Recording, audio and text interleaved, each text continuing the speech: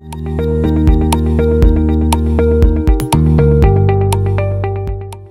Infosys Prize uh, 2017 for Physical Sciences is awarded to Professor Yamuna Krishnan, Professor, Department of Chemistry, University of Chicago.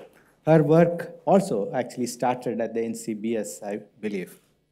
On behalf of the Physical Sciences panel, I congratulate you winning the 2017 Infosys Prize. The prize recognizes your groundbreaking work in the architecture of building blocks of life, the DNA. Your development of DNA nano devices is expected to have large impact in biology, such as constructing probes of processes in living cells.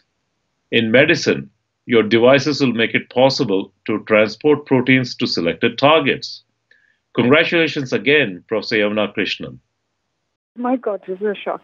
Thank you very much a uh, real honor, and I, I just didn't expect it at all. So I want to say that all of the work, the foundations and the shell, everything was actually done in India first. Thank you so much.